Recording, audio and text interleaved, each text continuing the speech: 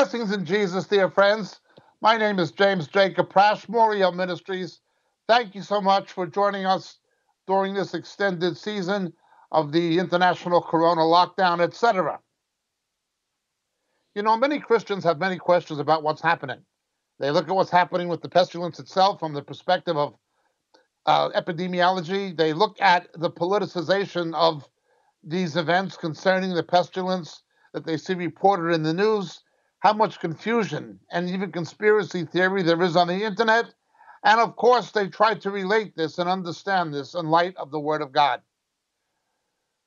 Remember, Habakkuk took a stand upon the watchtower.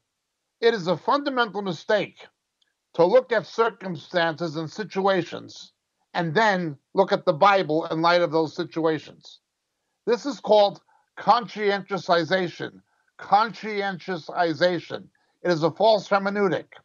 In other words, you begin with your situation, where you are, your own circumstance, and then you go to the Word of God to understand the Scripture in light of your circumstance. Conscientization. Conscientization is the opposite of what we should do. We should do as Habakkuk did take our stand upon the watchtower. Rather than looking at the Scripture through the light of our circumstances, we need to look at our circumstances in light of the scripture.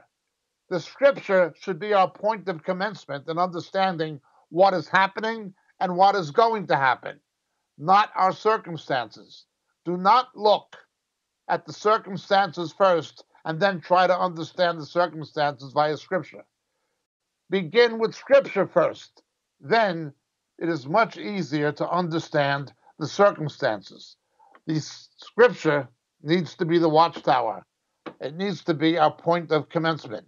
Many sincere Christians get this wrong and they fall into conscientiousization. When people go into conscientiousization, all kinds of things happen with this wrong hermeneutic. Liberal theology, or liberal, sorry, liberation theology, the political reinterpretation and redefinition of the gospel, associated with the Marxist leaning Roman Catholics in South America, like Benigno and Sobrino, or Desmond Tutu in South Africa. It reinterprets the Exodus as a political liberation of a nation, and it sees the Exodus, rather than the death and resurrection and promised return of Christ, as the central meaning of Scripture. They look at the Scripture as a book meaning national liberation. Other people have done this in various ways and have gotten it completely, completely wrong conscientiousization. It is always going to mislead you, but sincere believers, born again believers, do it. Very often, what happens is they get into something called proof texting. They have a preconceived view or a preconceived idea, and then they go try to find Bible verses or passages that prove it. Now, when this happens, you'll inevitably find people taking great liberties with the text. Instead of exegesis, instead of the text and context, it is eisegetical. They read things into the scriptures not there. It even goes further with people like Rick Warren. If you can't find what you want to find to prove your preconceived point in scripture by exegesis, not only do you go to eisegesis, but you forget about the original meaning of the original Greek and Hebrew languages and you go to a paraphrase. That is why Rick Warren loves the message. It's because it's not really the Word of God. You find a paraphrase to say it or an inclusive Bible. This happens in the purpose driven agenda. It's actually driven by conscientiousization. They don't begin with scripture, they begin with their circumstances. Sincere believers do this. They do it for many reasons.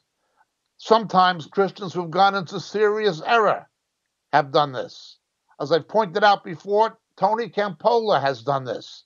He's a sociologist and he reads the scripture as a sociology book. And this misled him into revising his position on homosexuality and same sex marriage. Uh, he used the scripture as a sociology book. The late Harold Camping was an engineer by training and education. He had no theological background, and he used the scripture or read the scripture as a mathematical book and got into setting dates for the return of Jesus, something we're told not to do. Harold Camping actually did this. People use scripture as a history book, as a sociology book, as a mathematics book, uh, all kinds of books. Now, this is not to say there is not historical content or anthropological content or sociological content or mathematical content. There is mathematical and historical and anthropological and sociological content, but it's not a book of sociology or mathematics or anthropology.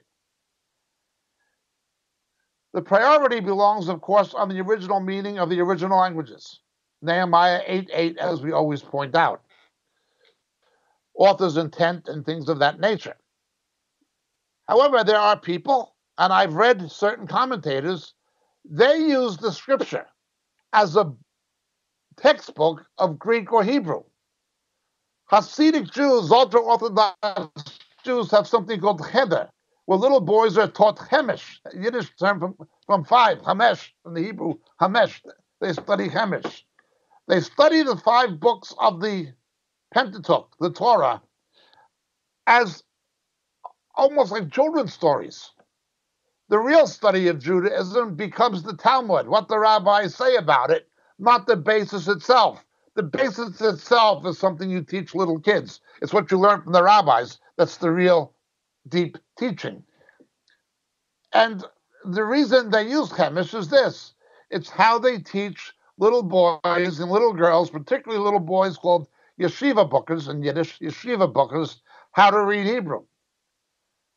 I once read a commentator, a New Testament commentator, who was very apt in Greek. He was actually a Greek scholar. That's a good thing.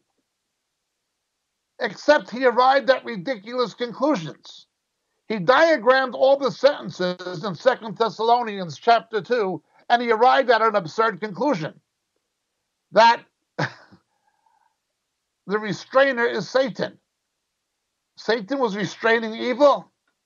And the reason he arrived at the conclusion that the restrainer was not the Holy Spirit, or it was not the faithful church, or it was not an angel or something that other people say, the reason he arrived at the conclusion it was Satan restraining evil was because grammatically the Greek language structure made perfect sense when he diagrammed all of the verses as sentences. And he arrived at an erroneous conclusion. Now, it's very, very beneficial to know Greek and Hebrew, but they're not books of foreign languages or ancient languages. They're not books of mathematics. They're not books of sociology or anthropology or history. All that's in there. But it's not to be read that way. Likewise, I've seen this with creation scientists. There is both good creation science and bad creation science. As we said before, there's no good Darwinism. Darwinism is all rubbish and nonsense. However, creation science, there's good creation science and bad creation science. Good creation science requires not only good science, but good theology. Some people have tried to make Genesis 1 to 11 a science book, a science of the creation. Now, it has historicity. It is historically and scientifically true, properly interpreted. But it's not a book about the science of the creation, neither is it a book about the history of the creation. Oh, it has historicity, and it's historically true but it's not written as a history book. The narrative of Genesis 1 to 11 is written as the theological interpretation of the history. As we've said before, likewise, the Gospels. The Gospels have historicity, they are historically true, but they are not the history of the life and ministry of Jesus. They're not. They are rather the theological interpretation of the life and history of Jesus. John the Apostle tells us if everything Jesus did historically were written down, all the books that existed at that time couldn't contain it. My apologies for reiterating these things. I know many of you, or most of you, have heard me say them before. No conscientization, beginning with some kind of a presupposition and looking at the scriptures in light of our presuppositions, be they historical, anthropological, even prophetic, political, whatever, and then looking at the scriptures in light of our perception, of our academic backgrounds, of our interests, and then going to the scripture in light of those things to try to find answers and meanings is a wrong hermeneutic. We do not begin with our circumstances. We begin with the scriptures. What do the scriptures say about anthropology in John chapter, I'm sorry, Genesis chapter 10, the table of nations? What, what do the scriptures say about the creation and the science of the creation? Not in Genesis, but ironically in the book of Job. Tells us we don't know how he did these things. Tells us that. That these things are, are mysteries. It's not to say we shouldn't study science. It's not to say we shouldn't take science into account in apologetics when we study the scripture, but it's not a science book. It's not an anthropology book. Historically true, all true has historicity, but it's not written as a history book. It's written as the theological interpretation of the history. Now, this is more or less true for various books. For instance, the book of Chronicles was written more historically. The book of Kings records the same history from the perspective of biography of the kings. One is more biographical, one is more historical but they're not biographies and they're not history books, even though they are biographically and historically true. Um, that's the way it is. The book of Acts is indeed the history of the apostolic church up to a point, or at least the major part of it. But it's a spiritual and a theological interpretation of it. Everything the apostles did is not in the book of Acts. We know that Thomas, by fairly reliable tradition, went to uh, India, and Matthew went went went went to Black Africa, and so forth and so forth. It doesn't tell us everything they did. It tells us the bits that are of theological consequence that God wants to give us the theological interpretation of historically. It gives us only that history that God wants to interpret theologically. We have to understand this. Never begin with circumstances. Never begin with your own situation. Never begin with your own perspective, be it scientific, be it historical, be it anthropological, be it mathematical. All that comes into play. But that's never the point of commencement. The point of commencement must always be the scripture itself. And this includes everything, including and even to a degree, especially, I would say, the return of Jesus, the close of the age, what some people call eschatology. It's important that we begin with Scripture and look at the circumstances in light of Scripture. Do not look at Scripture in light of the circumstances. Do not fall into the trap of conscientiousization. But let's continue looking at this. I hope you're following me. With the present lockdown and these events happening with their economic and political consequences globally, in the United States, in Europe, Britain, Far East, Australasia, New Zealand, South Africa, all of Africa, India, and of course Israel, everywhere. It's global. It's amazing. Nothing quite like this has ever happened on this scale. There's only been times in history where there were earth controlling events that had global ramifications for everybody on the planet virtually, whether they knew it or not. Um, you can talk about things like every nation in the 1940s was affected by the Second World War. Well, there's a truth in that. But this is the first time where it's not been something directly strategic, directly strategic. Although the role of China does have a strategic implication for things like national defense. This is Communist China's gift to the world. I, of course, don't blame China or the Chinese people. I blame the Chinese party and government. Uh, I hope I'm not going to get myself in trouble by saying that, but I do. Nonetheless, let's continue to look. When you have these kinds of circumstances, and Christians want to know what's going on, and they pray and they turn to the Word of God, they are inadvertently, many times, trying to see what the Bible says about their circumstances. But they're going about it the diametric opposite way that the scripture tells us. Do not begin with the coronavirus or the latest war in the Middle East or the latest famine or the latest earthquake. Begin with what the scripture says. Begin with the words of Jesus. Let's understand this from the position of looking at the Olivet Discourse. Remember, eschatology comes from the word eschato, meaning last. It could co equally be interpreted latter. In these last days, he's spoken through his son. As I pointed out from Hebrews chapter 1, verse 1, that's referring to the Perek HaShavua of the liturgical reading in Judaism, where you go back to Genesis 1 1 on the Shabbat after Simchat Torah in the autumn time. The portion of the week, the Haftorah and the Torah, the portions. He's spoken to us in many portions and in many ways. That is the Old Covenant, the Old Testament books or scrolls.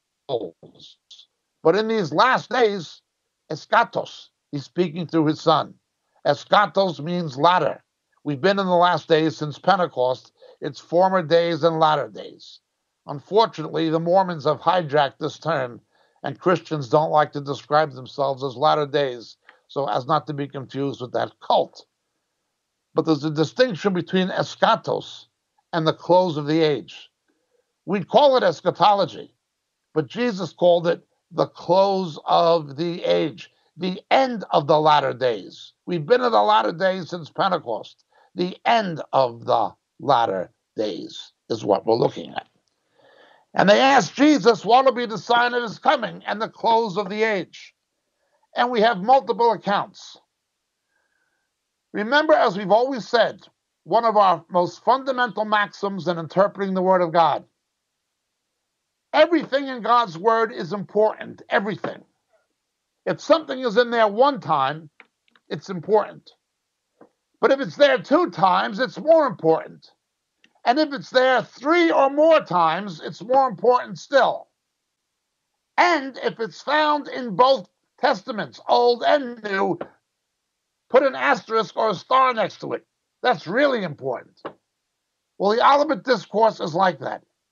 It has many parallels in the Old Testament, and the things stated in the Olivet Discourse are reiterated by John in the book of Revelation, particularly the sealed judgments. So you have four accounts of something that's going to happen. We have Matthew 24 and 25. We have Luke 21 with ancillary passages in Luke 11 and Luke 17 uh, and 12 saying some of the same things being reiterated in chapter 21, and, then we have Mark 13. So we have Matthew, Mark, and Luke. But Luke breaks the Olivet Discourse up into three sections in three different chapters, not positionally related to each other in terms of textual sequence. In other words, Luke's version of the Olivet Discourse, okay, you've got what Jesus said on the Mount of Olives in chapter 21 but you also have him saying some of those same things in chapters 11 and 12 in Luke. Okay. Uh, it's mainly Matthew 24 and 25. But some of those same things that Jesus talks about in Matthew 25, he also says in Matthew chapter 10. And then we have the four horsemen of the apocalypse playing out these predictions of the beginning of birth pangs that will come at the end of the age before the return of Jesus. One, two, three, four. The more it's in there, the more important it is. Matthew has two chapters dealing with it and one chapter dealing with it in part. Luke 21 Luke 11 and 12, uh, and a bit in chapter 17. Mark is the most concise, chapter 13. And Mark has Markan priority. It is almost certainly the gospel according to Peter dictated to Mark. But let's go back now and look at this even more. The more God says something, the more important it is. In other words, not only did Matthew talk about it, he, he wrote about it in two places. Not only did Luke talk about it, Luke talked about these things in three places. John has no Olivet discourse. John has a miniature apocalypse, as it were, in chapter 16 of John, and multiple punctuations of John's gospel with elements of Jesus speaking about the last days. He has almost verses that punctuate the entire text of John that speak of the return of Christ. As we pointed out before, for instance, the prophecy of the Antichrist in John 5. If another comes in his own name, him you will believe. Well, it's a prophecy about the Antichrist and a prediction about Bar Kokhba, but it is a punctuation. It's it's it's there in the text, but it's not a, in a discourse about the overall subject of the close of the age. Instead, the Holy Spirit ordains for John to write the book of Revelation. John does not have a version of the Olivet Discourse. He writes the book of Revelation, which shows the coming fulfillment of the Olivet Discourse. So all four Gospels, Matthew, Mark, Luke, I'm sorry, all four evangelists, Matthew, Mark, Luke, and John, all write about this. And they write about it in multiple places. Now, Peter comments on it. John comments on it. James comments on it. Peter, James, and John in their epistles all amplify, illuminate things that Jesus said about the last days or about the close of the age. So does Jude. So does Paul many times in First Timothy and Second Thessalonians, etc., and Romans. Paul does also. But people who actually heard Jesus say these things, like Peter and Jude, and Jude and James, and of course First John particularly, they all further expand upon it. It is a big, important subject. As much as I agree with so much of what Dr. Michael Heiser says, I fundamentally and respectfully disagree with his downplaying of the importance of eschatology. He calls it his least favorite subject, essentially. However, Jesus warned repeatedly spoke of it repeatedly, put a lot of emphasis on it. The Holy Spirit inspired the apostles to write about it repeatedly. He inspired the Hebrew prophets to write about it repeatedly. I don't put Dr. Heiser in the same class with Rick Warren, who's a false teacher. Rick Warren essentially says ignore end time prophecy, it's a diversion. Despite the fact Jesus tells us repeatedly to be alert to watch for these things. Rick Warren essentially says, forget about Jesus Christ, listen to me. Forget about the New Testament, read my purpose driven lie. That's Rick Warren. But other believers who are so credible theologically elsewhere do not give the return of Christ suitable reference. Dr. Heiser being one of them, and I, and I think much of what he says is good. Well, this goes back to Luther.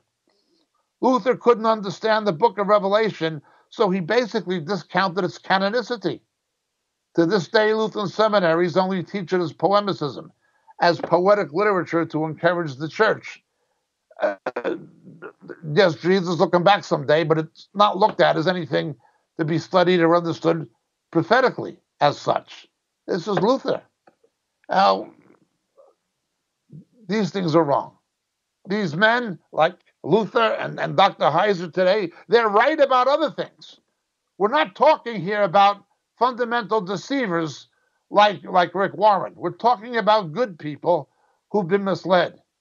We're not just talking about people who've gone off the rails into apostasy, like Tony Campolo over the homosexual thing. Or we're not talking about uh, Rick Warren. And okay, admittedly, Luther went off the rails in his later years concerning a number of issues. But Luther began right. If anybody ever began right, it was Martin Luther. Like King Joash of the Old Testament, he's a man who began right but ended badly. But he certainly began right. And we cannot ignore how right he was in the beginning of his crusade when he nailed the 95 Theses to the door of Wittenberg and so forth. He began completely right.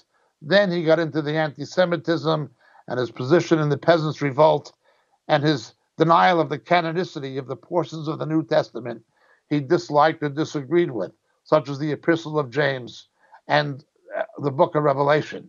Okay, he went off the rails, but he began right. What I'm saying is, good believers can begin right concerning the return of Jesus and end up wrongly. You can't just say, I don't understand it, that's it, it's not important, as Luther did. We cannot say that. The Holy Spirit wants to illuminate the scriptures for us. He wants us to understand it. Remember, Daniel was told to seal these things to the appropriate time. The reason Luther could not understand it, primarily, was it was not unsealed yet. It had very limited meaning for his time. But it has substantial meaning for our time.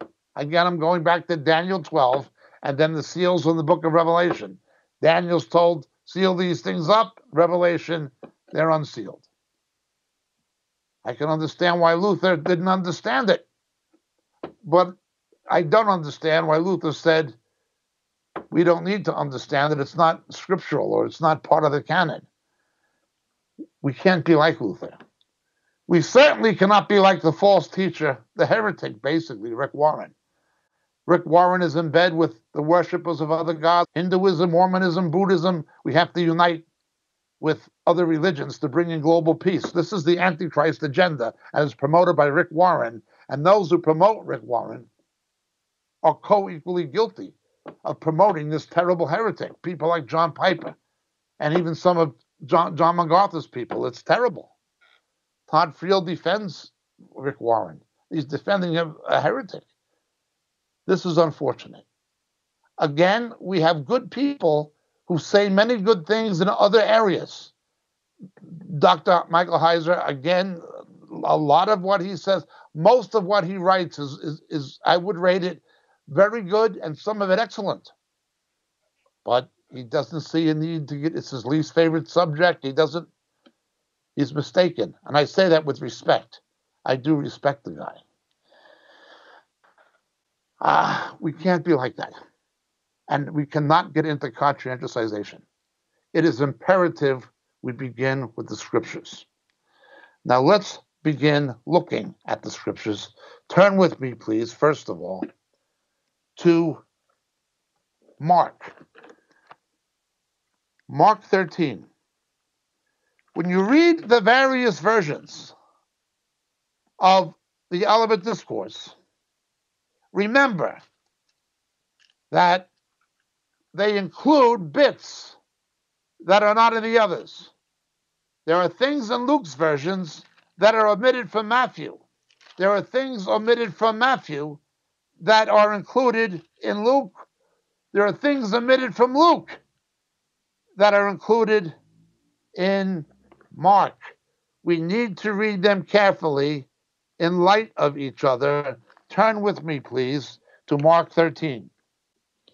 In Mark's version of the Olivet Discourse, we read the following Same story when Jesus talks about what's going to happen. And as he was going out of the temple, one of the disciples said to him, Teacher, behold what wonderful stones and what wonderful buildings. And Jesus said to him, Do you not see these great buildings? Not one stone shall be thrown down upon another, shall be left, which will not be torn down. He's making a prediction of the events of 70 AD, or actually, he is echoing the prophecies of Daniel chapter 9. The Messiah would come and die before the second temple would be destroyed. Now, this has got to go in context. Before this, he talks about in verse 38 of chapter 12 beware of the scribes, beware of corrupt religious leaders, religious lawyers. He also talks about the triumphal entry and what happened when Jesus came into Jerusalem. These things precede the Olivet Discourse. They precede it. The temple had been defiled. It had been defiled by people who turned it into a business and a racket. As we talked about many times, they were profiteering from the blood of the Lamb. They were into making money on currency exchange. They were into making money on the sale of lambs and even bribes to get a lamb approved without blemish. They had turned the temple into a racket. Remember, multiple times, at least seven times, the New Testament tells us the church is the present temple. We have a temple, only it's spiritual. Just as the temple was corrupted by heresy and by financial profiteering at the first coming of Christ and had to be destroyed, the mainstream church will be corrupted by heresy and financial profiteering at the second coming of Christ. The Kenneth Copeland, Joyce Meyer, Benny Hinn money guys, the Myles Munroe money guys, these kinds of things, Creflo Dollar. It's corrupted the same way. And therefore, it must be destroyed. The mainstream church must be destroyed. It is the faithful church that's indestructible, that the gates of hell shall not prevail against it denominational Christianity will not stand. It's been too corrupted by the world and by its leaders. It must be destroyed the same as the second temple was destroyed in 70 AD on Tisha B'Av, or as the first temple was destroyed in 721 BC on Tisha B'Av, roughly the 9th of August. The church is the temple it will have to be destroyed the way the first and second temple were for the same reasons. Now, when the temple was destroyed in 70 AD, there was a new temple, the church. Destroy this temple. Jesus spoke of his body as the temple. And in three days I will raise it up. The church will be raised up. We are his body. We are the temple. We are the naos in Greek, the oikos hegios in Greek. We are the hieron in Greek. Seven times we're told that. Ephesians, First Corinthians, we're the temple. Gates of hell will not prevail against it. But the visible temple must be tanked. These events you see now when churches are not allowed to meet by the pretense or because of the coronavirus that's only the beginning of it. It's going to be dismantled and destroyed. This may recede for a while, but it will come back. Understand what's happening. We don't begin with the coronavirus and churches being threatened with litigation and court orders and injunctions and the police coming saying you can't meet. We begin with what scripture says the temple must be destroyed. And it will be raised up again. Now, let's continue in Mark 13. Verse 3 As he was sitting on the Mount of Olives opposite the temple, Har Zayatim, Mount of Olives, across the Kidron, Peter and James and John and Andrew were questioning him privately. It was not all the apostles, it was not the disciples as you get the impression if you just read Matthew's version or Luke's version. It wasn't all of them. It specifies the ones who it was when it says the disciples or some of his disciples. It tells us Peter, James, and John, and interestingly, Andrew. Why Andrew? Remember, it was the ministry of John the Baptist in the spirit of Elijah that prepared the way for the first coming of the Lord Jesus. So too, the ministry of Elijah comes into play once again for the return, the second coming of the Lord Jesus. And when we look at John chapter 1, the ministry of John was active, preparing for the coming of Christ. Two disciples were with John John the Baptist, Yochanan Matbil. One of them was Andrew, Peter's brother. Not the sons of Zebedee, there were other, other siblings. And although the sons of Zebedee are at Bethsaida, this is right from the very beginning, before Peter. Andrew runs from John the Baptist and tells his brother Peter, Those who are prepared for the first coming of Christ were prepared by the ministry of Elijah, by John the Baptist for his coming. They know it first. And then he goes and tells Peter, the return of Jesus will be the same. Those who operate under the spirit of Elijah. I'm not saying they're Elijah, I'm just saying the ministry of Elijah will come into play again in the last days in some way. And it is obviously associated with the two witnesses and so forth. That's another subject. I would point you to our book, Harpazo, Harpazo, available through Moriel.org and Amazon and so forth. In any event, Andrew sees it first. When we look at John chapter 1, it was Andrew who was with John the Baptist. We are told the following in John chapter 1. John was standing with two of his disciples, and he looked upon Jesus as he walked and said, Behold the Lamb of God. As the Catholics like to say from the Vulgate, Agnus Dei qui tollis peccata mundi. Behold the Lamb of God who takes away the sin of the world. In the Vulgate, and the two disciples heard him speak, and they followed Jesus.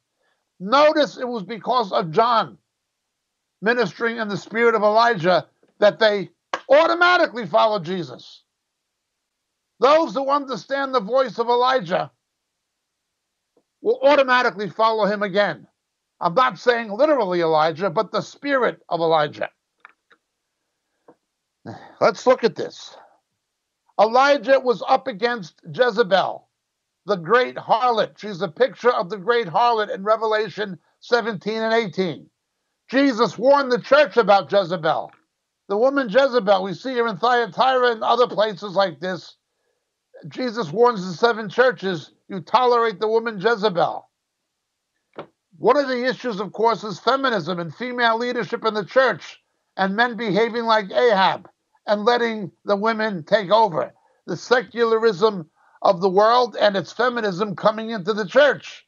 We see this today of so many women who are teaching dangerous and false things and men allowing them to do it and even submitting to them. We see this with Joyce Meyer. We see this with Jan Markell. We see this with Heidi Baker. We see this with Beth Moore.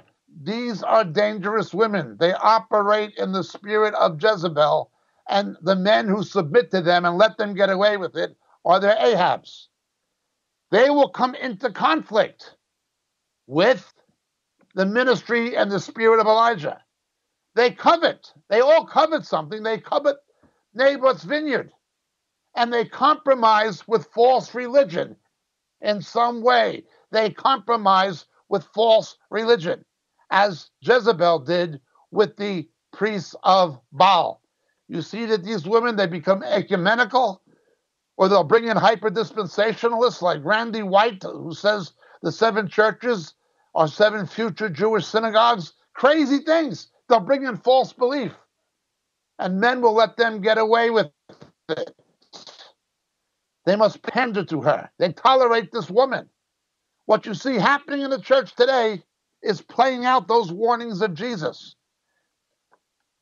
The harlot church, the ultimate harlot church, the ecumenical church, the interfaith church, the mainstream church, much of it evangelical by name, much of it professing, will be caught up in this and is caught up in it. Look how many Christians follow people like Rick Warren. Look how many Christians have led credence to Rick Warren, including John MacArthur's associate Todd Friel and, and John MacArthur's people, and, and John Piper. To, to, to Rick Warren, a man who says we have to unite with Hindus and Buddhists to bring in global peace. Unbelievable. But it's happening. And it's getting worse, and it's getting worse by the day. The ministry of Elijah will come into conflict with these people. And it will result in a schism within the church. There'll be 7,000 who don't bow the knee to Baal. There will be a faithful remnant of the church, the same as there was a faithful remnant and is a faithful remnant of Israel who accept Yeshua as the Messiah. But it's going to happen. Remember, to understand prophecy, we must understand history. If you don't know what did happen, you're never going to know what's going to happen or even what is happening. But let's continue. Andrew immediately knew it because he'd been following John, because he'd been operating somehow in the spirit of Elijah. He'd been part of that. Remember, you had Elijah, but you had the sons of the prophets. You had other people who knew he was right and were under his tutelage or influence. Now, I don't say it's just going to be one Elijah.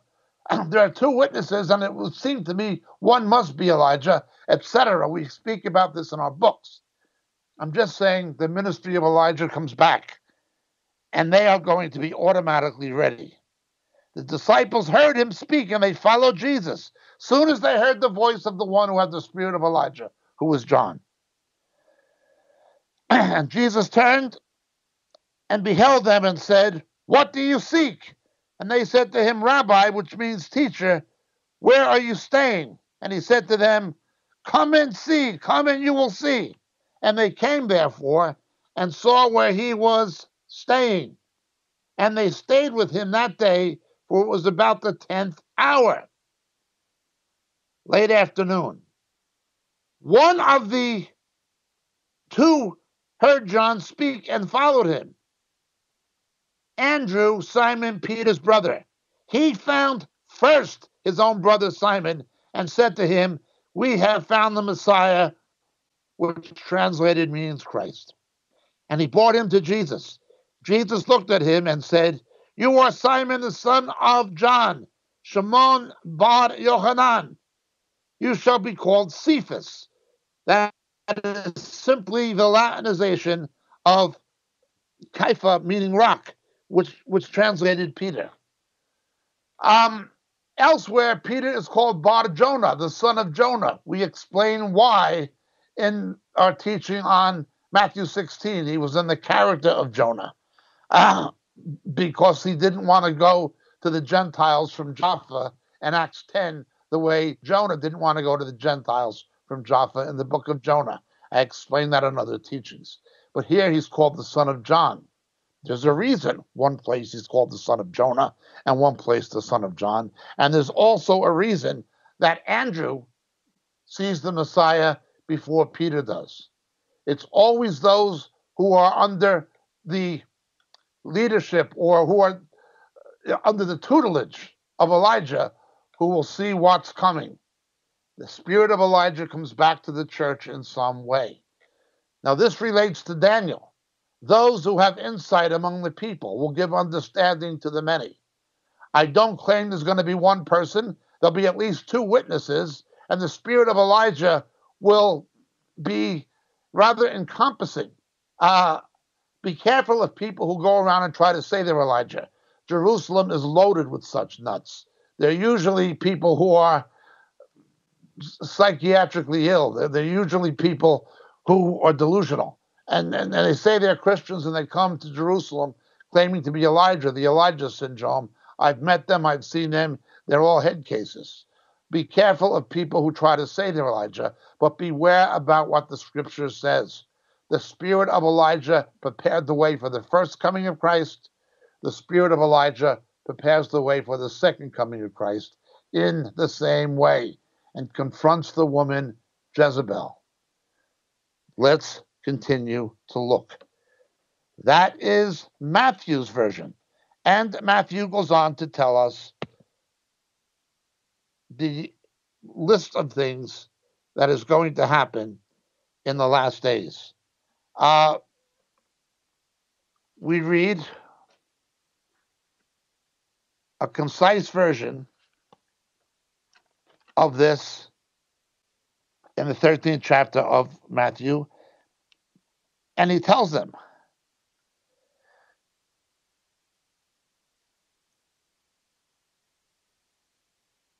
when you hear of wars and rumors of wars, in verse 7, do not be frightened, those things must take place, but the end is not yet. Nation will arise against nation, kingdom against kingdom. There'll be earthquakes in various places. There'll also be famines.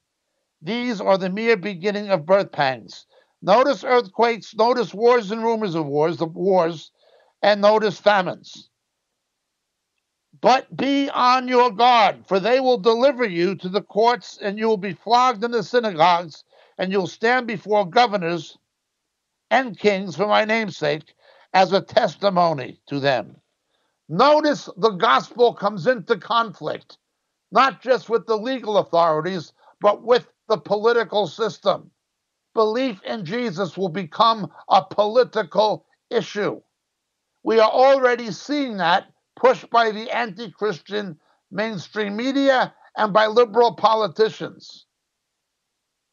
Christians being told you're anti scientific, you're breaking the law, you're putting your children at risk with the coronavirus. Again, do not interpret the scripture in light of the coronavirus. Interpret the coronavirus in light of the scripture. Persecution becomes the focus. You'll be hated by all on account of my name. By all. Brother will deliver brother to death, and a father his child. Children will rise up against parents and have them put to death. And then it comes to the abomination of desolation. Well, let's look at Matthew. When Matthew speaks of the close of the age, there are these details in Mark that are not in Matthew. Let us look at this. Says the same thing. What will be the sign of your coming and the close of the age in verse 3? And Jesus said and said to them, See to it no one misleads you. The first thing Jesus says of the close of the age is don't be misled. Don't follow false doctrine, false prophecies. Many will come in my name saying, I am the Messiah, and mislead many. You'll be hearing of wars and rumors of wars. See, you're not frightened. These things must take place. But that is not yet the end.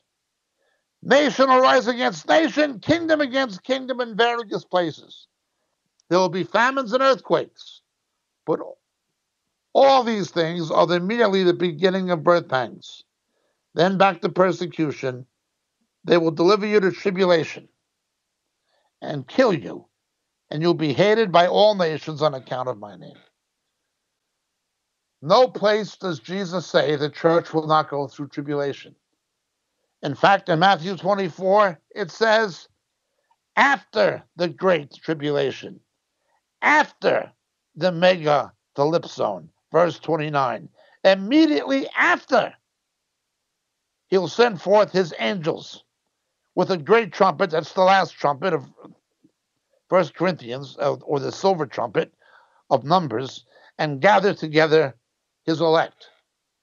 This ridiculous nonsense invented by John Darby and those who influenced him of a pre tribulation rapture is nonsense. We are not appointed unto orge, wrath. We're saved out of the wrath of God. But you will have tribulation in the world, the rapture and resurrection happen after the great tribulation when we know who the Antichrist is. That's the plain reading of Matthew 24. It's the plain reading of the Olivet Discourse. It's the plain reading of Second Thessalonians chapter 2. Remember, John Nelson Darby was a despotic cult leader. Charles Spurgeon, who was not pre trib, warned against him. Darby made himself an enemy of George Mueller, the great Christian humanitarian evangelist to the youth, biggest children's ministry in the history of Britain up to that time. He was the enemy of the people like, like, who followed Dr. Barnardo, who was the same. He was the enemy of the people who followed Hudson Taylor, the missionary to China. Darby was against the other brethren who didn't agree with him. He was against Benjamin Newton. He was against Dr. Samuel Tregelles, the great Greek scholar. He was against all these people. Spurgeon took out full page ads in the newspaper warning against this cult leader who founded what we call today the exclusive brethren. Those who believe in pre trib, following the doctrine of a cult leader. Remember, A.W. Tozer did not believe in pre trib. Charles Spurgeon did not believe in pre tribulationism. Corrie ten Boom did not believe in pre tribulationism, and either did many of the early brethren who knew Darby. The whole thing is absurd. Thalipsis is thalipsis and orge is orge. Tribulation is one thing, wrath is another. We do not experience the wrath of God. Neither is the full seven year period, the 70th week of Daniel by the lunar calendar. Neither is the entire seven years the tribulation or the great tribulation. It's the beginning of birth pangs, it's the tribulation, that is the great tribulation, and there is the wrath of God, the day of his wrath, the day of the Lord. No, the faithful church is not here for that. During that period, the primary focus of God goes back to the salvation of Israel and the Jews in desperate circumstances. Don't let these people tell you differently.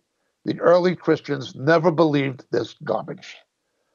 We cannot get our doctrine from patristic literature, but the pre Nicene or the ante Nicene fathers, the historical writers around the time of Hegesippus and Papias, and above all, Irenaeus, these are people who got their doctrine from the Apostle John via Polycarp. These were people who got their doctrine from the last of the apostles who wrote the book of Revelation.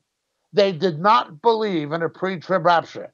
They firmly believed we would have to know who the Antichrist was before the rapture came, and they got their doctrine from John, who wrote Revelation. Do not believe these people telling you otherwise. Again, many sincere believers have been bamboozled into believing pre tribulationism, but it is a bamboozling. I thank God the Holy Spirit is showing so many believers it's false. Now the pre tribulationists have begun to devour themselves. They've gotten more and more erratic, even crazy in certain respects. The traditional pre tribulational theology was, I wish we'd all been ready. This is still held by people who I respect, such as uh, Dr. Mark Hitchcock. He's pre tribulation, but I respect him. But then you have the newfangled pre tribulationism. People who say that the apostasy, the great falling away, is the rapture. Thomas Ice stuff, this J.D. Farag stuff. J.D. Farag, of course, was promoted by Jan Markell. I don't think she believes it, but she gives platform to those who do. But you can believe what you want, as long as you're a good Ahab and pander to Jezebel. Doesn't care. The rapture is the great falling away. That's what these people are teaching even people who ought to know better, like, uh, you know, certainly Thomas Ice, certainly Wayne House. These are not crackpots. These are people who ought to know better. But there we go. You see this being pushed and pushed. Let's look. We're told this in Matthew 24. Then Jesus continues. There's going to be false Christs. Ultimately, I am the Christ, I am the Messiah.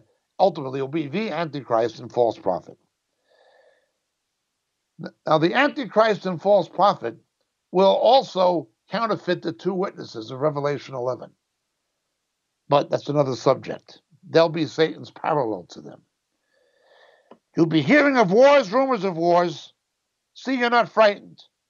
Those things must take place, but that is not yet the end. Nation will rise against nation, kingdom against kingdom, and in various places there will be famines and earthquakes. We speak about this on our last teaching on the ethnos, ethnos against ethnos, available on Moriel TV. But all of these things are merely the beginning of birth pangs. When labor contractions begin, it tells you the baby is coming, is getting closer. But that doesn't mean it's going to be in five minutes or an hour. You have time to get to the maternity ward. Then they'll deliver you to tribulation and kill you, and you'll be hated by all nations on account of my name. That includes the Protestant democracies who used to be Christian.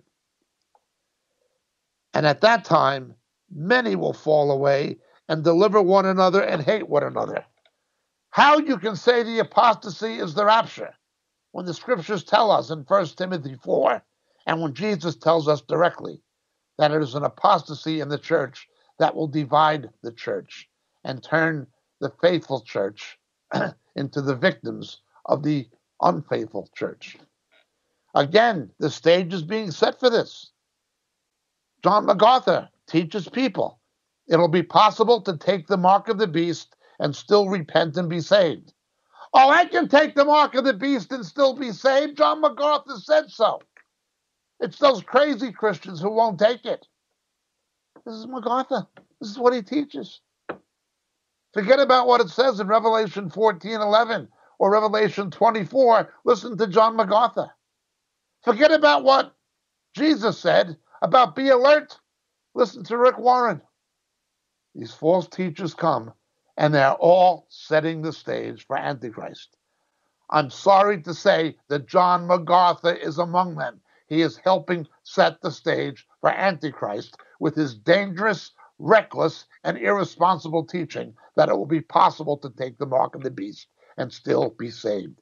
Read Revelation 14 11. Read Revelation 20, verse 4. among the other errors that John MacArthur has succumbed to. Let's continue. Many false prophets will arise and mislead many. Boy, is that true now. Mike Bickle, uh, Bill Johnson, uh, the Kansas City false prophets, one after another, predicting things in the name of the Lord that failed to happen. Benny Hinn, Kenneth Copeland, certainly Cindy Jacobs. They all can be documented as to have made major time specific false prophecies that didn't happen. One of the most dangerous false prophets in the church today, deceiving the elect, is Michael Brown. Ask him about his false prophecies.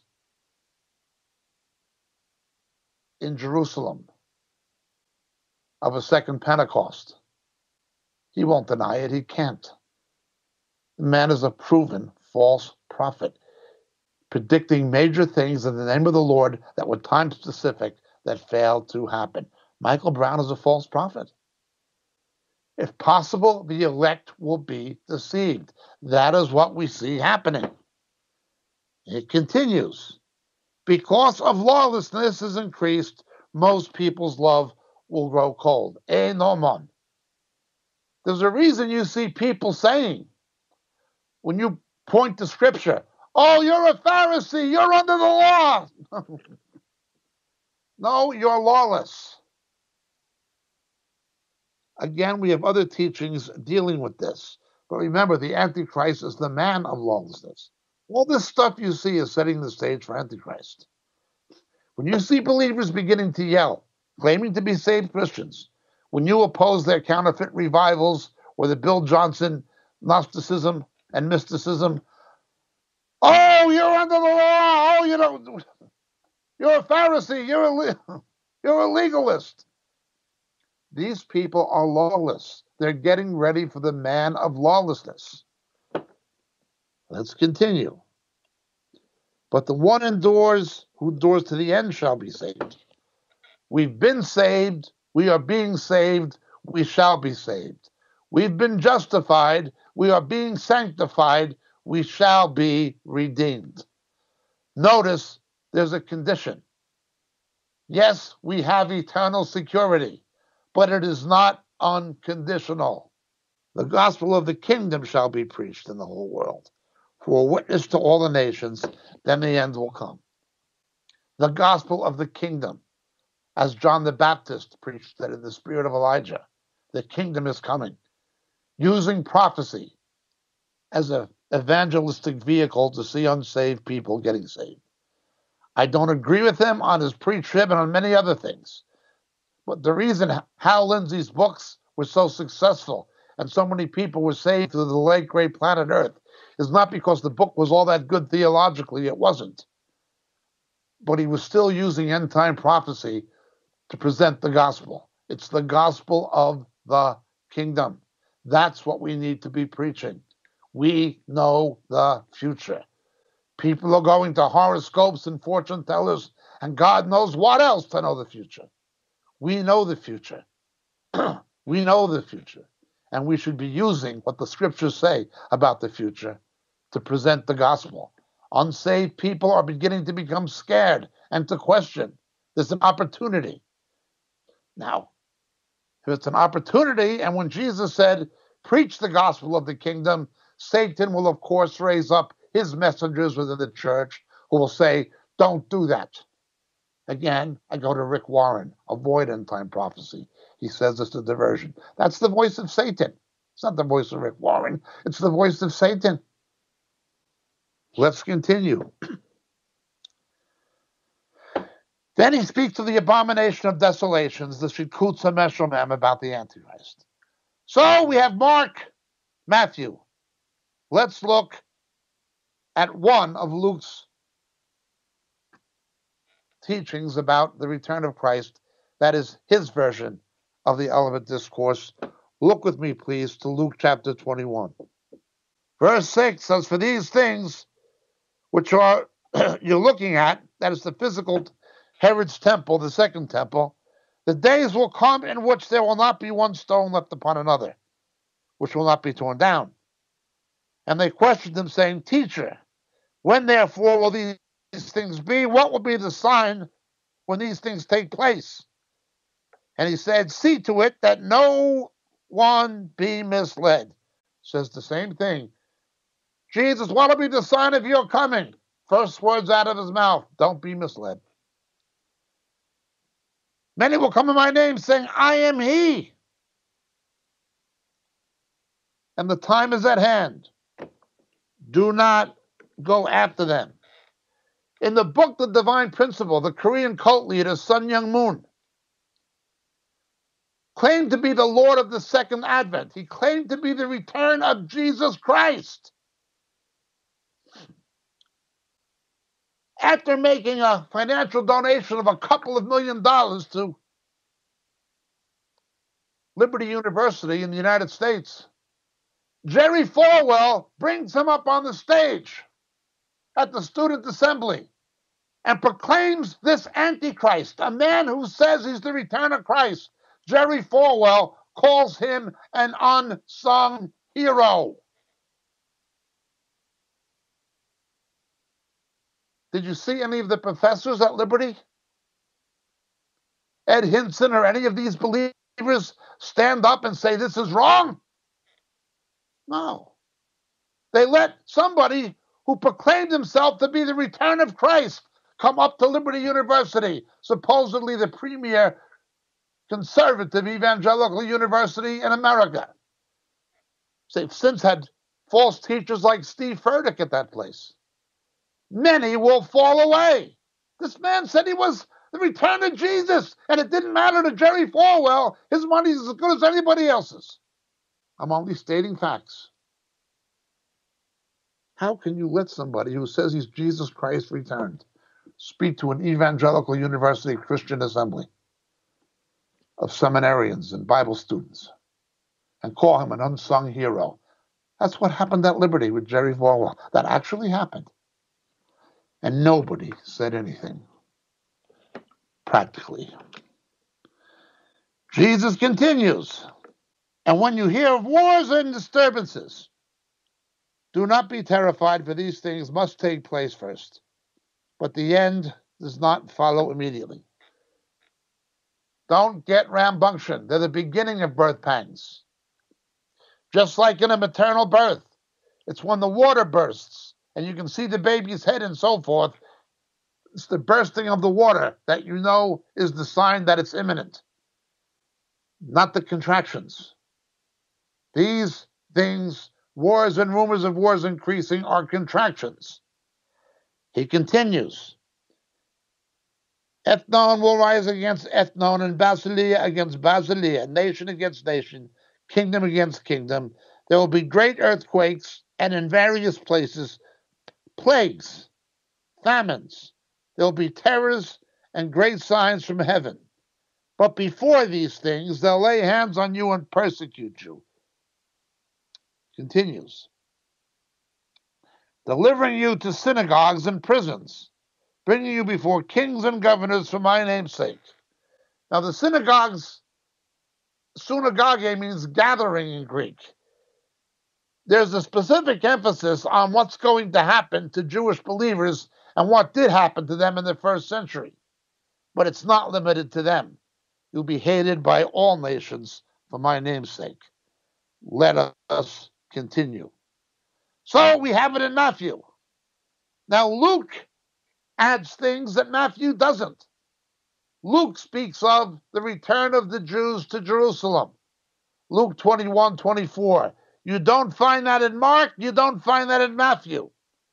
Luke was written to Gentiles who needed to be informed about the prophetic purposes of God for Israel and the Jews. Peter was a primordial gospel.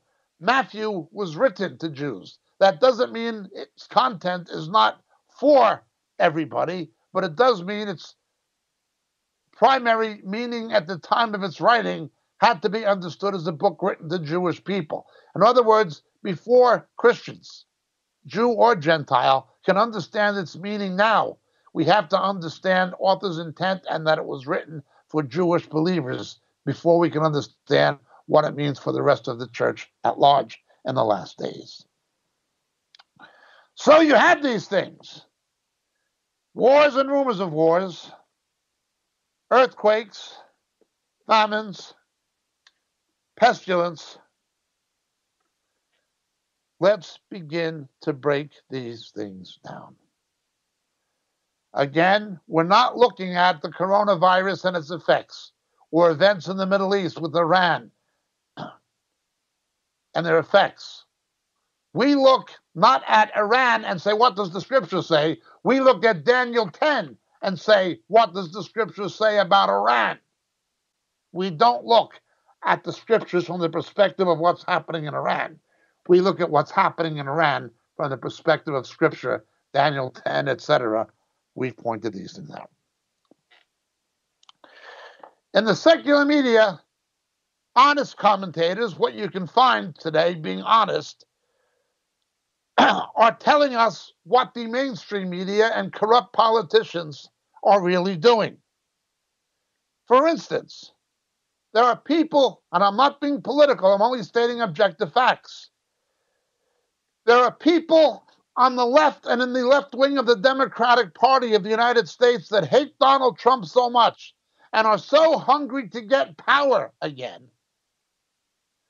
that they are quite willing to see the economic devastation of the lockdown make the economy so terrible, destroy whole industries that it will take years to recover, such as airlines and so forth. They're willing to see whole industries destroyed. Nearly 7 million Americans alone out of work. They're willing to do that because it makes a bad economy and they can pin it on Donald Trump because he's the president. He mishandled this.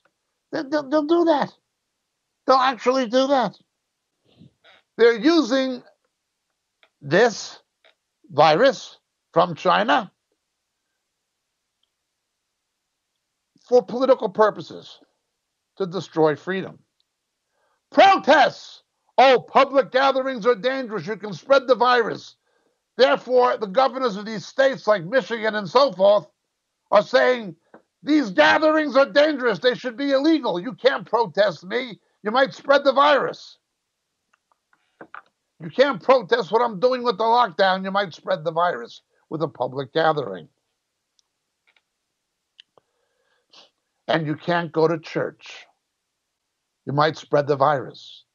Those who go to church are anti science. Now, notice this lie. People of faith are anti science. The governor of Illinois said that. Others of these people are saying that. That it's illogical, irrational to meet like this, it spreads disease, it's anti science. Somehow faith in Jesus and science are mutually exclusive. Well, let's look at the realities. These same people are pro abortion. The objective medical science and embryology says these fetuses, late term abortions particularly, can survive. If they were born prematurely or by cesarean section, they could survive with improved incubator technology and so forth. They could survive. What's the difference? This is infanticide. You're killing these babies. They could be alive. no, we have the right to abort babies right up until the time they're born. And the governor of Virginia, himself a physician, says that babies who survive abortion should be left to die. This is what happened in Moloch worship. These were the sins that took place in the days of King Manasseh. The judgment of God must come. They tell Christians they're anti science when they are anti science. They don't believe in medical science. They don't believe in clinical obstetrics or embryology. These are babies who can survive. You can surgically reconfigure somebody to resemble a member of the opposite sex. Chromosomally, however, as we've said before, you only have double X and XY, male and female. Bruce Jenner is genetically a male and always will be.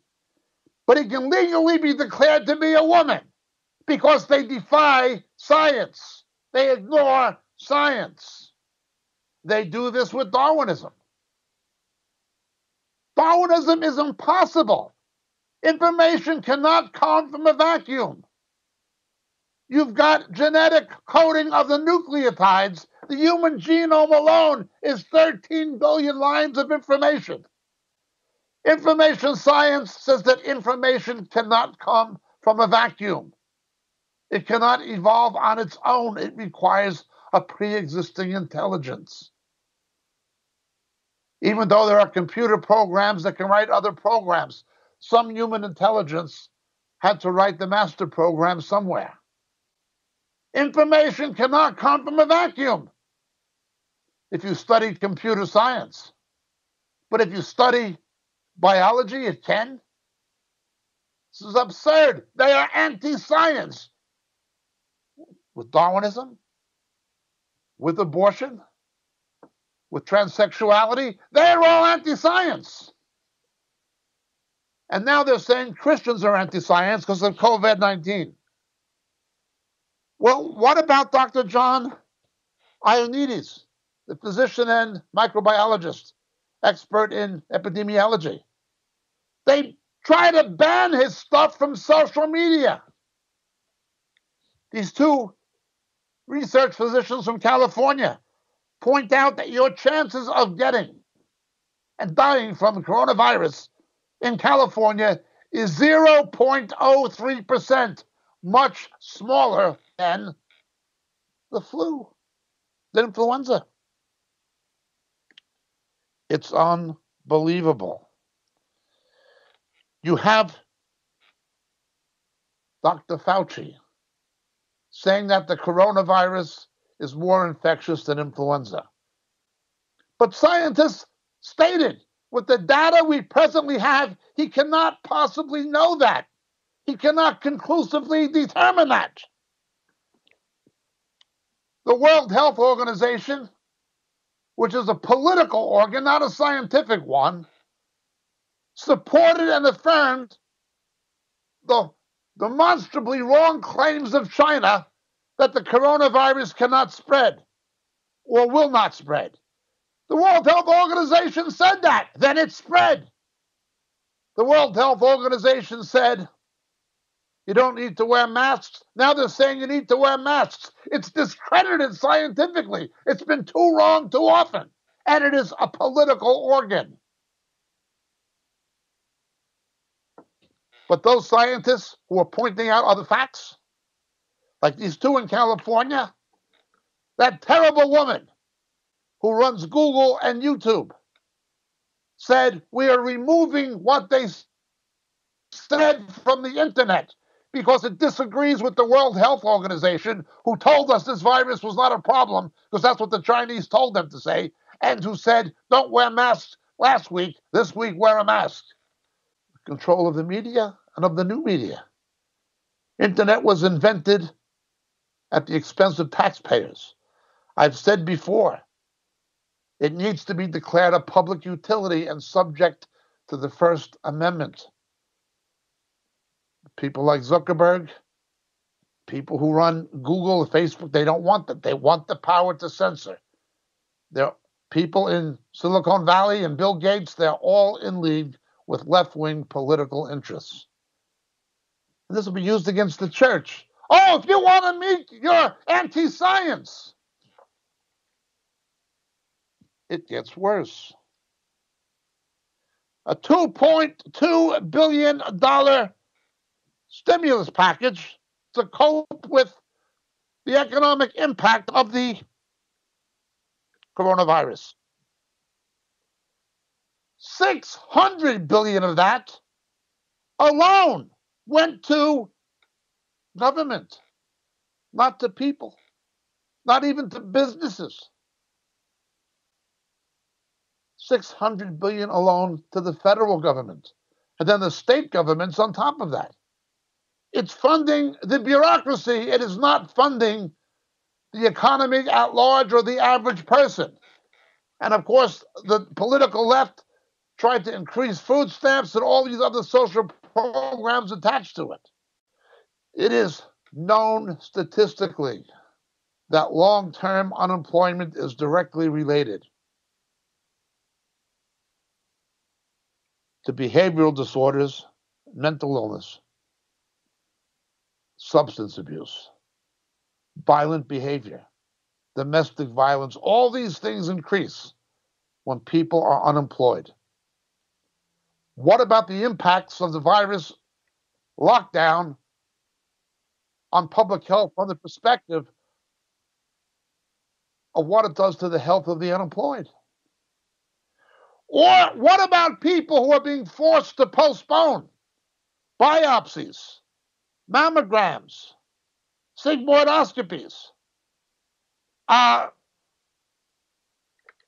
other medical examinations? Cancers can progress. Things that could have been acted upon more quickly, surgically, and otherwise, if properly diagnosed by biopsy are not being diagnosed. These people stay home. Hospitals are not taking these patients at the moment. What about what that's doing to public health? We're not told about that. The idea of the system being overburdened and not being able to cope, the hospitals having no room, that didn't happen. What they predicted didn't happen. Yet anybody who questions this and points it out on the basis of real science, of real epidemiology, is banned from social media and condemned by the mainstream media and denounced by mainly liberal politicians. They are using this as a political weapon to stop dissent and under satanic inspiration to stop the church. forsake not the fellowshipping together one with another, we'll make it a public health issue. Now, notice, it's not a scientific argument. It becomes a political misuse of science. It's very much what you had in Russia under the in the USSR under the communists. The elitists, the apparatchik in Russian, the party membership and bureaucracy. One set of rules for them, the others for the proletariat and the other people who have to be told what to believe and what to do. We know what's best for you. Don't question us. What we do is something else. The day before yesterday, Michelle Obama went on the mainstream media telling people in a so called public service announcement to stay home except for essential work, essential food shopping, and things of that nature. That very same day, at the taxpayer's expense, with police escorts and Secret Service bodyguards, her husband drives 40 miles to an exclusive Virginia country club to play golf. He's allowed to go out. She's telling other people to stay home. That is what Russia was like under the Iron Curtain. The governor of Illinois denouncing people as anti scientific if they go to church, etc. His own wife gets on an airplane and goes to Florida. When questioned by a reporter, he says, How dare you attack my family? Who are you to question us? That is elitism. It's what you see among the word faith money preachers in the church, and it's what you see among crooked politicians. It's what you saw back in the USSR, as the Beatles sang. Well, back in the USSR, we should play that on the radio every day because that's what's happening. In the USSR, the truth was not determined by scientific reality. Science was determined by a political decision. Economics was not determined by economic reality. It was a politically controlled decision. Journalism was not about reporting facts. It was an organ of the state to broadcast propaganda. Journalism was politically determined. Science was politically determined. Economics was politically determined. In Russia, with Pravda Izvestia. this is what went on. And the party leadership lived one life, the people lived another. That's what's happening now. The lesbian mayor of Chicago has all the barber shops and coiffures and hairstylists and beauty salons closed. She had her hair done. When questioned, how come you could have your hair done? What kind of an example is that to the people you're telling they cannot have their hair coiffured? She got angry and said, I'm the face of Chicago. Oh, yeah, yeah, yeah. This lesbian mayor. It's unbelievable. It's back in the USSR. One week you can't wear, you know, shouldn't wear face mask, doesn't help. Next week you have to wear them. First time Chinese said it's not going to spread, the World Health Organization echoes what the Chinese wanted them to say. It's not going to spread. Then it spreads. And then if you disagree with the World Health Organization, you're banned from social media by YouTube and Google. It's unbelievable. Well, look what happened to the USSR. They politicized their economy so it collapsed. They politicized their media, Izvestia and Pravda, so nobody believed it anymore. People would listen to Radio Free Europe or something. And finally, they politicized science. Russia was first in space with Sputnik. Russians have always had excellent scientists and excellent mathematicians. Very good. Very good. tremendously good. They were the first in space. Once the space race happened, the Americans surpassed them. Russia's never gone to the moon because the science was politically controlled. You had people going to universities in the USSR for political reasons, not based on pure intellectual capability. Here it's the same thing. They've got quota systems for women, for minorities. It becomes discriminatory against Asians and against white men. Admission to major universities were all left wing. The very policies that took place in Russia are taking place now in the Western world, including the United States. Back in the USSR, well, that's the situation. But I don't want to look at the scripture in light of the situation. I want to look at the situation in light of scripture. Notice each version focuses on the plight of persecuted Christians. Wars and rumors of wars, the ends are not yet. Let us look at the horsemen of the apocalypse in Revelation 6. The first seal is Antichrist. He comes on a white horse, counterfeiting Jesus in Revelation 19. We've talked about this on other teachings. The second seal is war. That's the second horseman, the red one. The white horse, then the red one. Third, famine. He broke the third seal. Come up here, and I saw a black horse. Food shortages. Now look what happens. A fourth seal is death. This is the so called Ashen Horse, death in Hades. And it was given authority over the earth to kill with sword, famine, and pestilence. All three. And wild beasts. Now, these wild beasts of the earth have multiple aspects. Obviously, there's a symbolic aspect of the political empires in Daniel. Revelation and Daniel are partners. Secondly, as we've warned, the danger of biogenetic engineering. The scriptures tell about mixing the seed. When they are taking the DNA of one species and placing it into a completely different species. God made them according to their mean, their kind. You can genetically engineer viruses, and there's evidence that the coronavirus is genetically engineered. That's this. Beasts of the earth.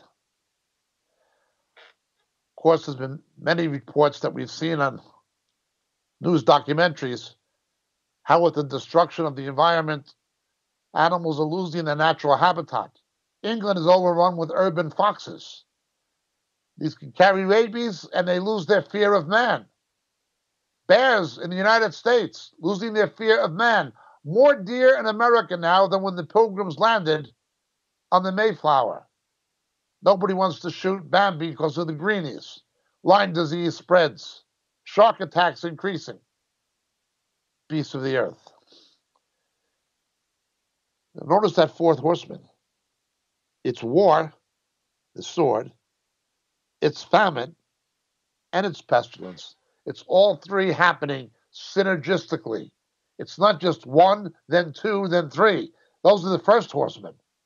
When you get to the last horseman, they all happen at the same time, plus other things. The synergistic impact. What if food shortages do not come from bad harvests? What if they come from meat packing plants laying off their workers because of a virus? Or ranchers being forced to reduce herds because of a virus? What if it comes as a result of pestilence, not of drought or something of that nature? What if the problem becomes in distribution? Truck drivers, railroads, everything on lockdown. What if it becomes engineered famine, like Mengistu did in Ethiopia? Mengistu used famine. Joseph Stalin used famine as a military weapon against his own population and particularly against the Ukrainians. He did it three times. I recall reading the book The Gulag Archipelago by Alexander Solzhenitsyn. Stalin used engineered famine against his own people, against Soviet citizens, quote unquote. Will these people begin to use food shortages for political purposes? It's been done. People having to stand in line and get into supermarkets on the shelves half empty.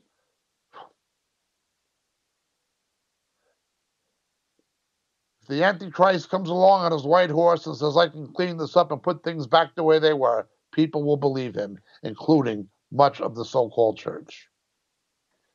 There's a synergistic impact. Yeah, persecution.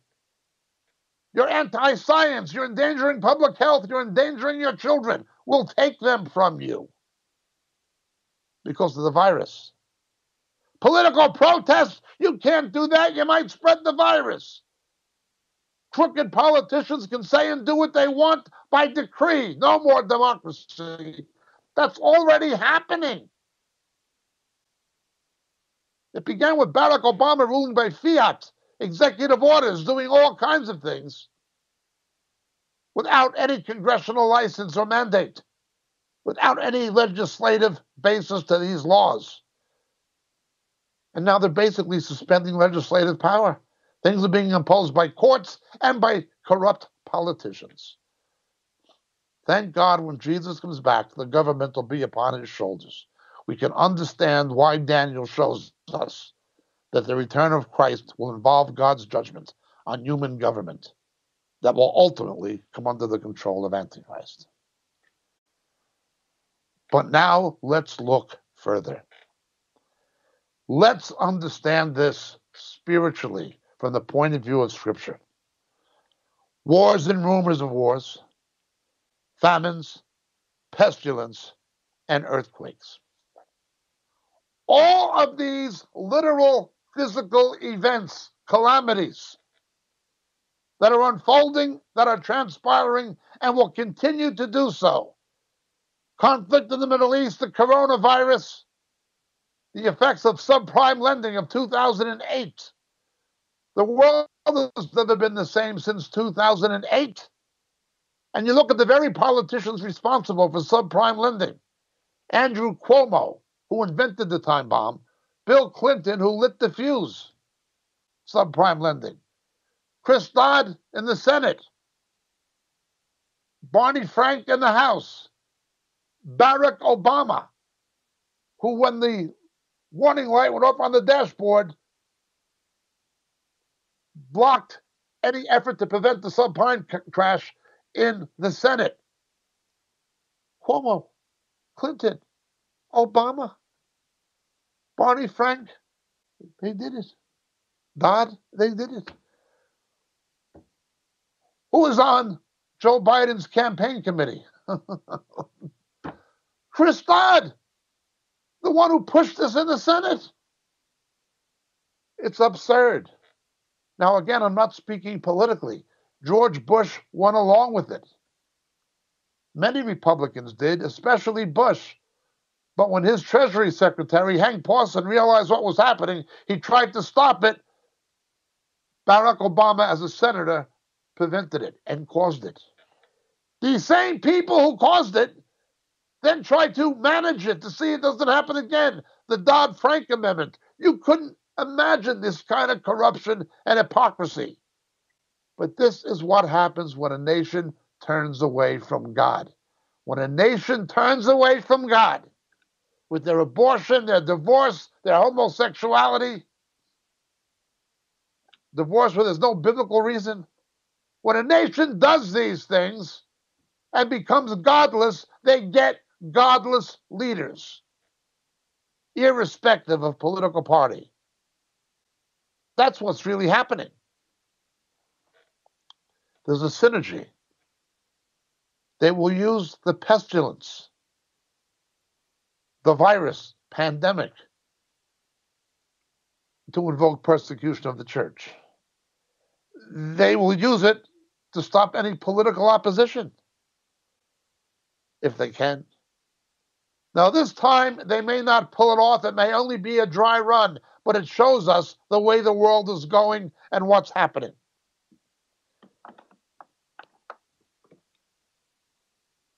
But that's from the perspective of the world. Let's understand these things from the perspective of God's Word. All of these literal physical events, all of them, are reflections of what is happening spiritually. Let's begin with wars and rumors of wars. Yes, that's happening. Just look at the Middle East. Revelation 12, 7 to 10. And there was war in heaven. Michael and his angels waging war with the dragon, and the dragon and his angels wage war. This is in parallel to what happens in the book of Daniel, chapter 10, as we've said many, many times. These physical wars and rumors of wars, particularly those in the Middle East, particularly those involving Israel and Iran, but not only, are a reflection of the war taking place in the heavenlies, of the angelic against the demonic, of what you see in Daniel 10, the principalities, the demonic powers over these nations. War, these literal wars, are a reflection of the spiritual wars of Daniel 10 and Revelation 12, etc. Famine, food shortages caused by locusts in Africa, caused by distribution problems due to the lockdown in the United States or Britain or Australia. Food shortages, famine. These literal food shortages and famines, particularly those we see in Asia and in Africa. And there are new ones now. There's a new strain of wasp from Japan that has entered the United States that can destroy our own bee population in significant numbers. Bees are necessary in the environment to pollinate other species. They don't just make honey. Bees are vital to the ecosphere and to food production. You have to understand the word for bee in Hebrew is is Devora. The girl's name Deborah. Devora is bee. It has the same root as Devar, Devar, meaning thing or the word of the Lord. Devarim, the book of Deuteronomy. I explained this on other tapes. The relationship between the root of bee and the scripture. Remember, the scroll was sweet in the mouth. Bees make honey as sweet as honey. The dvarim make the dvash. Dvarim, dvash. Bees, honey. The word of God in the mouth, dvarim. The dvar Adonai, the logos in Greek. The dvar is sweet as dvash, and it's made by dvarim, bees. All these things have a spiritual link to them what you're seeing happening in the ecosphere, it's all reflecting something spiritual. When we understand what's happening on the earth is because of what's happening in the heavenlies. Let us look. Famine. Amos chapter 8, verse 11. Behold, the days are coming, declares the Lord, when I will send a famine on the land not a famine for bread or a thirst for water, but rather for the hearing of the words of the Lord. Oh, there may be a physical famine, but it's a reflection of the real famine for the hearing of the word of the Lord. Don't just look at the bread and the water and the vegetables and whatever. There's a famine for the hearing of the word of the Lord. The scriptures are not being expounded in context anymore. Much. You have motivational speaking using Christian terminology. You have false teachers teaching false things, not just Gnostics like Bill Johnson, but exegetes like John MacArthur. A famine for the hearing of the word of God. And those sycophants of John MacArthur, they know better. As Chris Rosebrough knows better. It's Todd Friel knows better. It's Phil Johnson knows better, but they're loyal to their Pope, not to Jesus. Well, what about the pestilences like the coronavirus or these locusts in Africa that have reached Pakistan? Look with me to Revelation chapter 9, verse 3, please. And out of the smoke came forth locusts upon the earth, and power was given to them as the power of scorpions. Of the earth had power.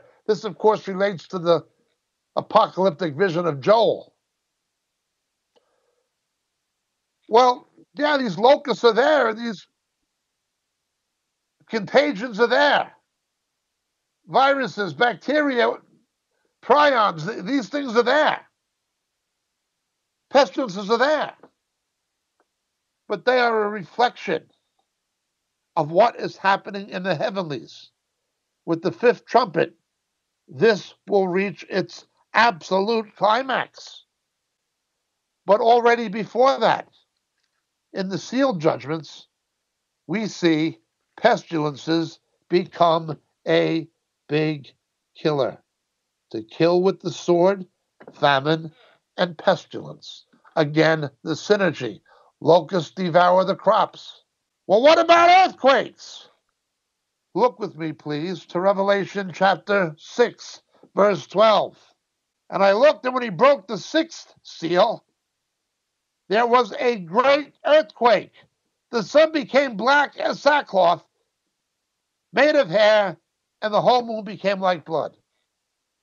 The great earthquake. Now we see earthquake references again in Revelation 16, 18. We'll come back to Revelation 6 in a moment. Look with me, please, to Revelation chapter 16, verse 18. And there were flashes of lightning, and sounds and peals of thunder, and there was a great earthquake, which has not been since man came to be upon the earth.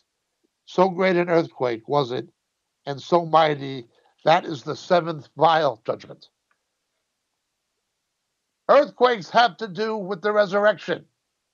When Jesus rose, there was an earthquake. Why is there an increase in seismic activity and earthquakes? Well, we've seen the famines and the wars. Now, pestilence. Mark my words, we're going to see an even more drastic increase of seismic activity. Major earthquakes are going to come beyond the increases of earthquakes that we've already seen historically. We already have more earthquakes higher on the Richter scale than they've ever been occurring at greater frequency in recorded history. More is coming on top of the pestilence the famines, and the wars. Its climaxes with the fourth, fourth horseman. That fourth horseman is the worst. All the other things converge synergistically. But remember, this earthquake that happens with the sixth seal is the earthquake of the resurrection, the parousia. In Romans chapter 8, we read the following in verses 22 and 23. For we know that the whole creation groans and suffers the pains of childbirth until now. And not only this, but also we ourselves, having the first fruits of the Spirit, even we ourselves, grown within ourselves, waiting eagerly for the adoption as sons, the redemption of the body. Notice it speaks of the earth itself having birth pangs. this is like the earth getting ready to give birth, the resurrection. When Jesus died, there's a resurrection. Between the sixth and seventh seals in Revelation 6, there's this earthquake, resurrection. Increased earthquakes parallel increased birth pangs. They're both figures of what's coming. Birth pangs point to the rescue of the man child, the earthquake to the resurrection of those who died in Christ. We see this continually. The wars we see, don't look at the scripture from the perspective of the wars. Look at the wars, particularly those of the Middle East, from the perspective of scripture. Revelation 12. These wars, these armed conflicts, are a reflection of what you see happening in the heavenlies.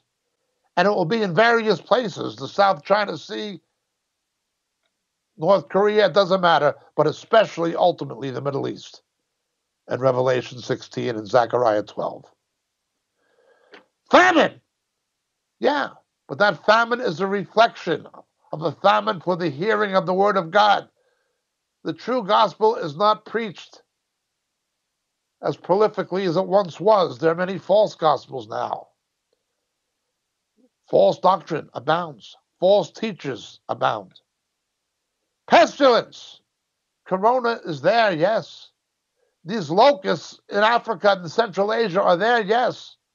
But they're simply a reflection of the unleashing of this demonic avalanche of locusts in a spiritual sense that are coming in Revelation chapter 9 that obviously parallel what happened with Nebuchadnezzar's invasions of Israel in the book of Joel. The four swarms of locusts, the four invasions. Earthquakes! Increased earthquakes, increased seismic activity point to the coming resurrection. All of these events you see happening and transpiring physically. Yes, they are of prophetic importance, but understand why. Our wars are a reflection of the wars in the heavenlies. The famines are a reflection of the famine of the hearing of the word of God. The pestilence are a reflection of the demonic invasion. The earthquakes are a reflection of the impending resurrection of those who died in Christ. That is fell asleep. That is what is happening. There's too much on the internet, too much available in the public domain that is not treating these issues of prophetic importance in the way they need to be addressed. Too many Christians are using conscientiousization. They're looking at the events themselves and then going to Scripture instead of beginning with Scripture and looking at the events.